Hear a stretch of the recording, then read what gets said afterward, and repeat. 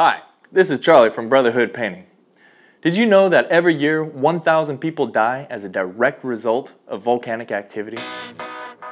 We're here in Medford, Oregon today painting an interior. We'd love to show you what we do. Come with me.